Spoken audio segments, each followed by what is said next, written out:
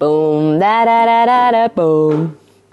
Baby work it. Ja, meine erste Berührung mit Dear Evan Hansen war ein Auftritt, die die, glaube ich, gehabt haben bei Tony Awards. Da habe ich es gesehen. Und da war ich natürlich so, was ist das?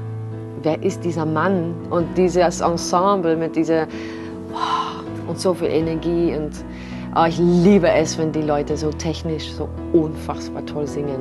Hat, ich war richtig baff. Ja, und dann äh, war es so lieb, dass die mich gefragt haben, ob ich Interesse hätte. Und dann habe ich das wieder angeschaut und war dann so, oh, schrecklich, wie schön, ah, wie schrecklich, ja, das muss ich machen. Jetzt sind wir hier und ich kann nicht fassen, dass wir jetzt in äh, zwei Wochen Premiere haben. Das ist immer dieses Ding, man will das irgendwie finden, weil du es natürlich gerne alles gut verstehen willst. Gleichzeitig weißt du, ach, es ist aber nicht meine Realität und dann muss ich wieder zurückschrauben. Und dann hast du wieder einen Tag, wo du denkst, okay, ich habe heute überhaupt keinen Zugang. Ist es dann jetzt fake?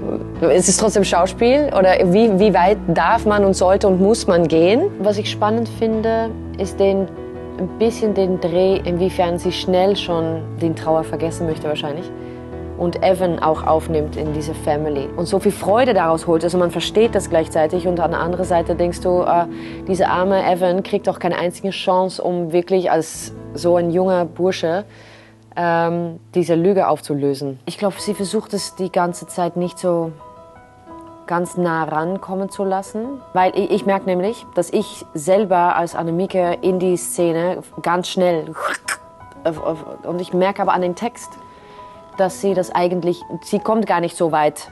Sie, sie hält es, glaube ich, eher zurück. Ich habe mal kompletten Heulkrampf bekommen. Konnte ich nur mit meinem Rücken nur. Und da hat der Markus Oliv gesagt, ja, das war dann so ein bisschen ähm, nicht, nicht mehr als das.